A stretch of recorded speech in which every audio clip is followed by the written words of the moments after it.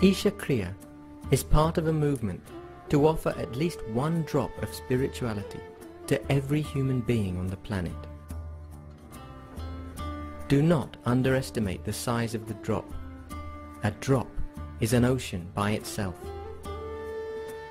This is a powerful tool of empowerment. We hope that you allow it to touch and transform your life and share it with as many as you can. Isha means that which is the source of creation.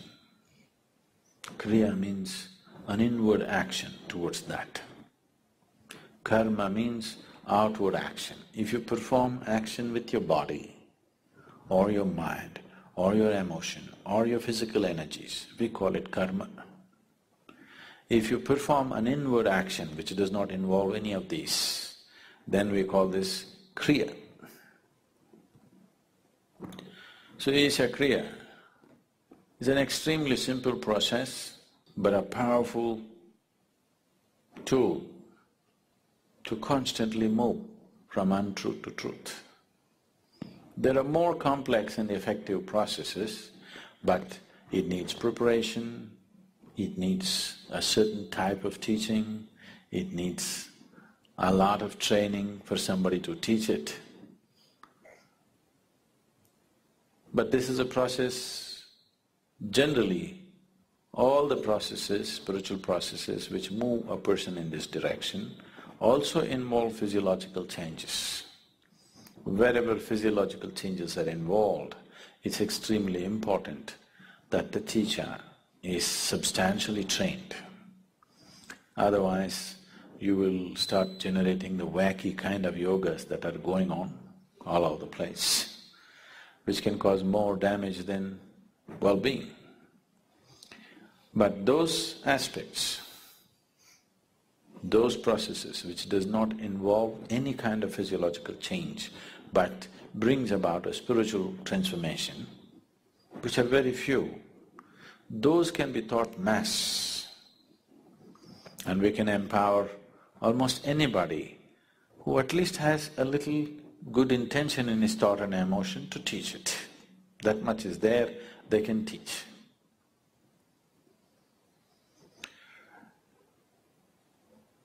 We will do this process right now. You need to understand a little bit about what this is. Is everybody breathing here right now? Hmm? Please check.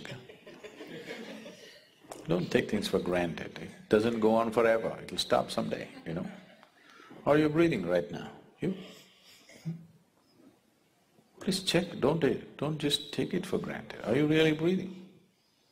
You're there, okay?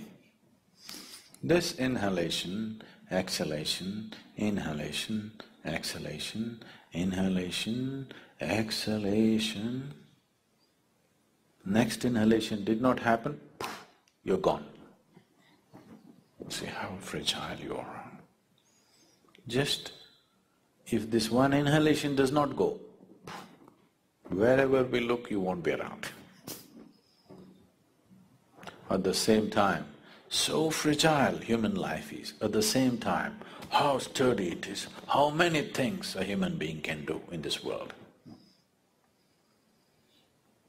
On one level, it seems to be so fragile, just look at it and see.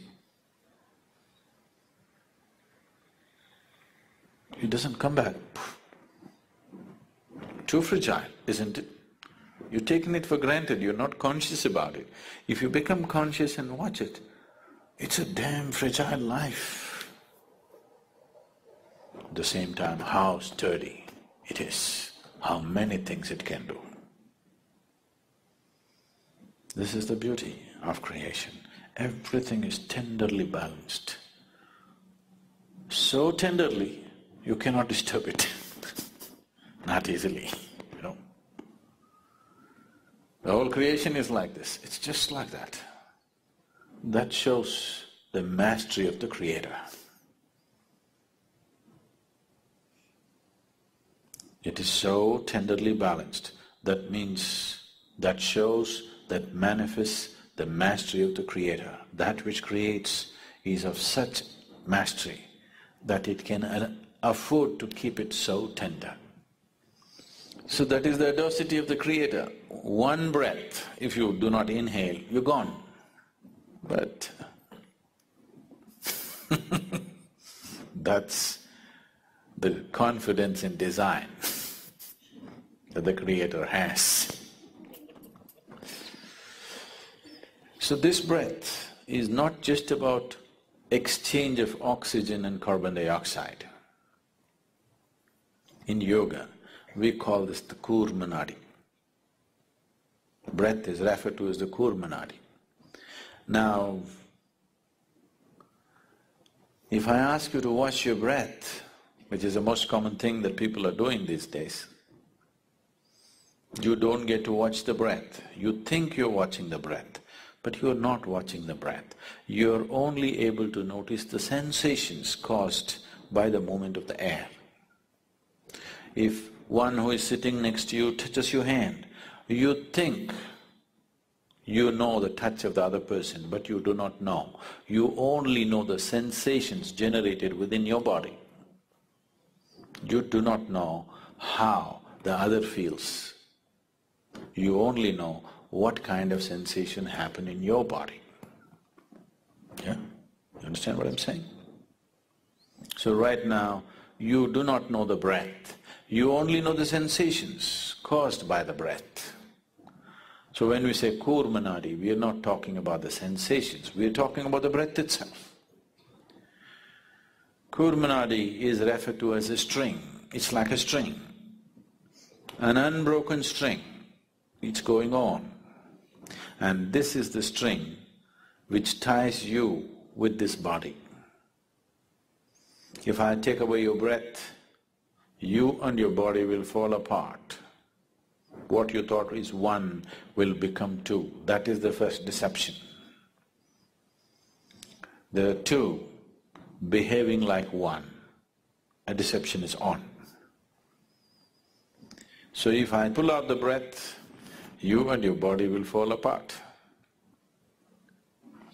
We don't want it to fall apart, but if your consciousness travels with the breath, if your awareness travels with the passage of the breath keenly enough, then you will see, distinctly see, these two are not one.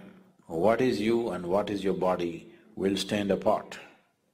What is you and what is your mind will stand apart. If you and your body-mind combination stand away from each other, then suddenly you will find your ability to use your body and your mind goes into a phenomenal scale. If right now, if you have to count from one to ten, right, the highest is ten, if that is so, if you're attached or if you're involved with this body, you're less than one. That's where it is. If these two things come apart, suddenly you can rev it up all the way to ten. Your ability to use the mind and the body is so greatly enhanced that you almost look superhuman for somebody else. But I'm telling you, this is human. This is not about being superhuman.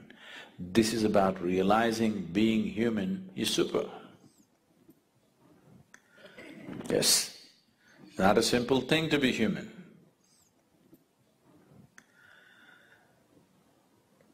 Now the Isha Kriya just involves this. Your thought is playing a very important role in your life right now. So let's employ that.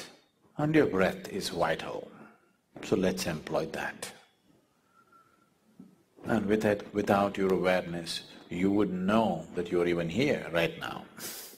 Hmm? If you're not aware, you do not even know whether you're alive or dead, or whether you exist or not. So these three ingredients, your breath, your thought and your awareness, in the right combination, if you use them, you will see slowly a little bit of distance arises between you and your body. Now, you're very distinctly moving from untruth to truth.